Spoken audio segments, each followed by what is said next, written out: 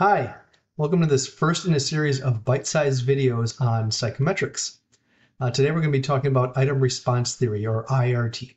Uh, this is a modern psychometric paradigm that's used to design, develop, and analyze tests uh, to ensure that they're fair and accurate and have uh, extensive validity documentation. It's used by the best exams in the world. Uh, a lot of the large scale and high quality assessments use IRT, and for good reason. Uh, we'll talk about a really uh, brief intro of the theory behind IRT before talking about some of those reasons. So let's get into it.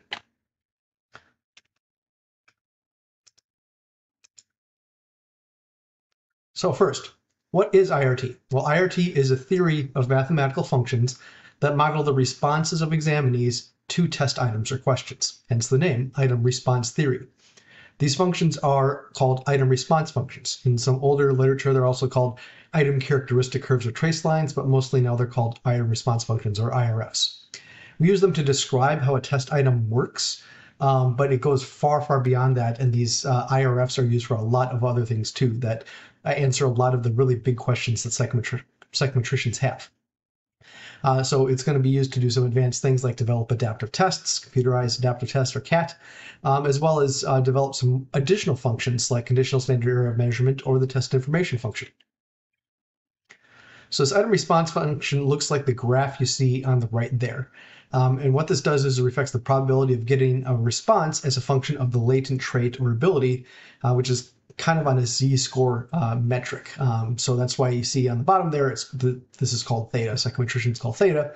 Um, and it runs from about minus four to plus four, minus three to plus three, depending on how wide you want to make the um, the range.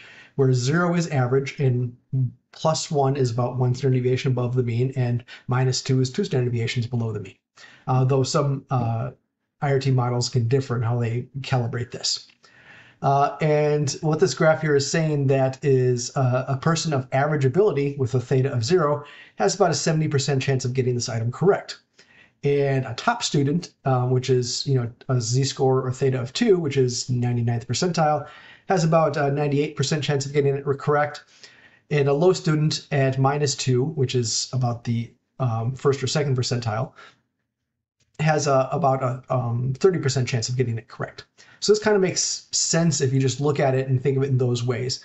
Um, the reason it tails off to 0.25 um, depends upon the type of scenario you're doing, but in this case, it's representing a four-option multiple choice question. You've got a one in four chance of one in four chance of guessing it, which is 25%.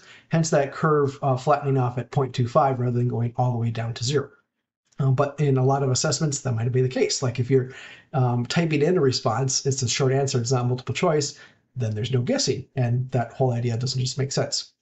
Uh, there's a lot of other statistics here that go as well, um, which we won't be talking about as part of this uh, quick presentation. So this curve is defined by three parameters called A, B, and C, uh, though they actually work in a, a, different order. B is the first one, A is the second one, and C is the third one. So if you have a one parameter model, it only uses B. It doesn't use A, it just uses B.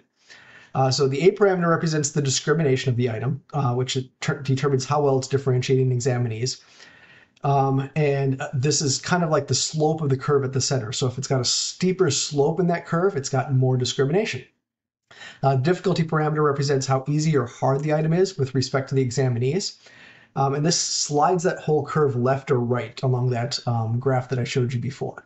Uh, so that if the curve is centered on zero, like it was in the example, that means it's appropriate for average examinees. But in a really easy question, that curve would be slid all the way to the left. it would be centered around minus two or minus three. Um, and that represents that the item is appropriate for students that are at minus two or minus three.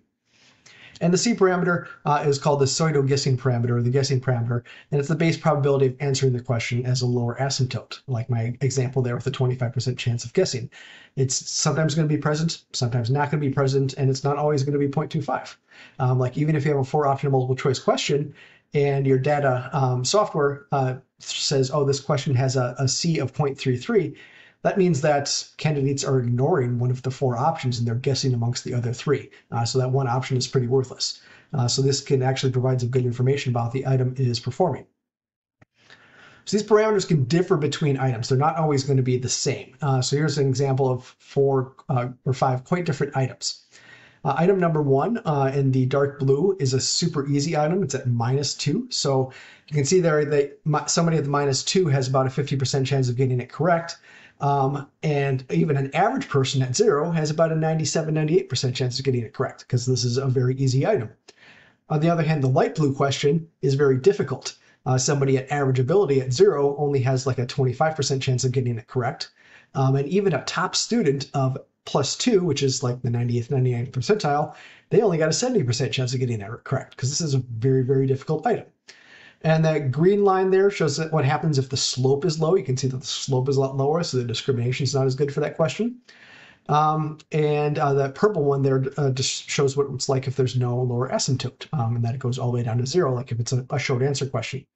Another example where that makes sense is if you're dealing with um, non-cognitive assessments, like uh, yes no questions or true false questions um, uh, perhaps in personality like i like go to i like to go to parties if it's an extroversion survey um, they're going to say true or false or yes or no there's no guessing to that question so having no asymptote makes sense there so there's actually three major types of families in item response theory. Um, there's the dichotomous, which deal with data that is yes or no, or right or wrong, or true false. Uh, note that this includes multiple choice, even though there's four answers, it's still scored yes or no or right or wrong. There's polytomous, which are items that are scored with um, three or more points. So if you've worked with Likert exams, Likert, or sorry, Likert items is the correct way to say it, um, where rate you say rate this on a scale of one to five, um, that is a polytomous. That's a part uh, a rating scale uh, model. Partial credit models are like if you're scoring an essay on a score of zero to five um, that would be appropriate for a partial credit model.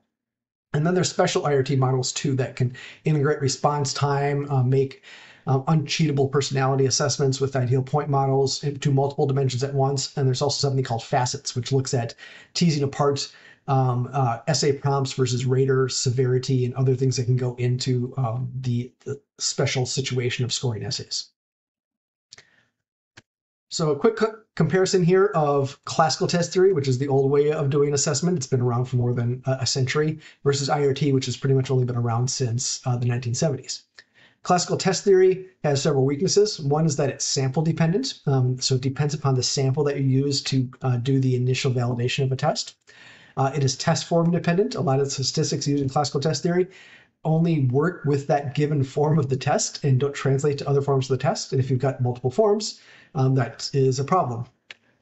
Uh, it's got pretty weak linking and equating. So if you've got multiple forms, you can't like put them on the same scale to make sure that things are still uh, consistent across the forms, uh, which is you know a major issue for a lot of large scale exams that you know might deliver twice a year for 10 years. And you want to link those all back to each other so that you've got consistent scores over time.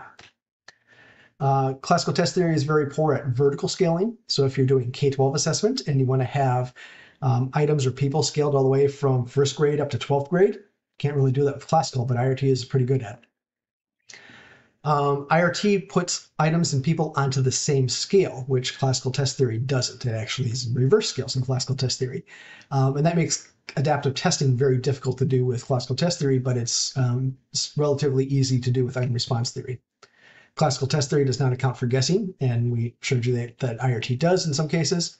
And classical test theory oversimplifies a lot of things psychometrically. Uh, for example, it says reliability is going to be the same for all examinees that see a test. Well, if you think about it, um, that's not realistic because you know if all your items are average difficulty, um, you're aver- you're measuring the average students very well, and you've got no items of top difficulty, you're not measuring the top students very well. Um, and uh, IRT tries to find ways around this and some other important uh, distinctions among uh, the psychometric theory behind things. So some of the ways that you differ between classical test theory and IRT are shown here. Um, the IRT model is usually logistic. Classical test theory is based off linear assumptions. Uh, the difficulty uh, statistic in classical test theory is the p-value, proportion correct, whereas it's the b parameter in IRT. Um, the p-value is actually really easy to interpret. It's very simple, um, easy to talk to with SMEs about. Um, b is more difficult to uh, deal with, but it uh, has a lot of advantages psychometrically. And the same for the discrimination, the guessing parameter. Now, one important uh, distinction is that uh, multiple choice uh, calibration with IRT uh, collapses it from the four options to the yes or no or correct incorrect like we talked about, uh, which means it doesn't provide distractor analysis. So you still have to have classical test theory in your software to do this distractor analysis. IRT also has a lot of um, uh, indices around fit and dimensionality and other more advanced psychometric things that are useful. Um, and it has a completely different idea of reliability and precision that better matches uh, how things actually work psychometrically.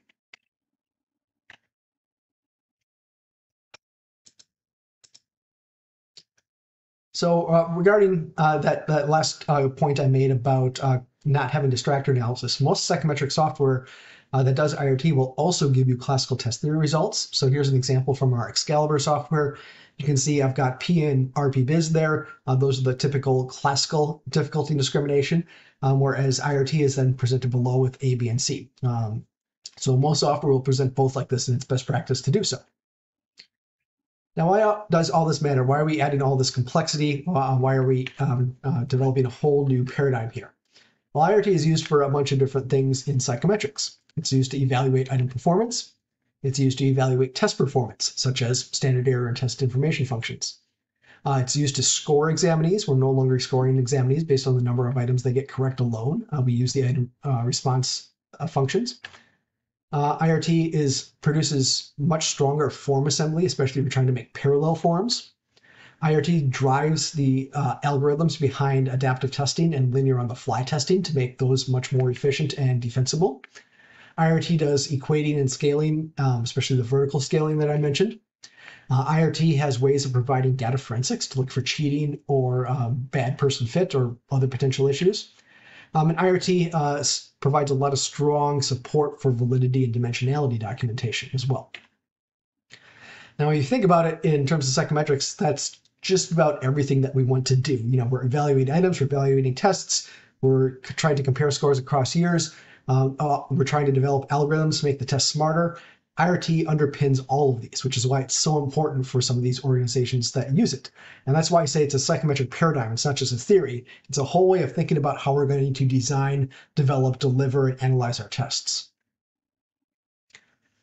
So because of that, IRT has to be baked into a lot of the work that you're doing. It's not like you're just going to run an IRT analysis on IRT software at the end of the year and just call, call it quits after that um, you've got to build this into other aspects of what you're doing.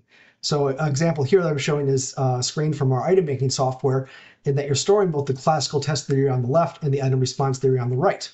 Um, because uh, you need to have these item response theory parameters in there so they can use them for assembly test forms to ensure that they're parallel or maybe if you're making adaptive tests, these IRT parameters have to be in there because you're delivering adaptive tests and they're part of the calculations. Um, so you have to bake this into that uh, the item banking proportion and the test assembly proportion and publishing portion of your assessment platform.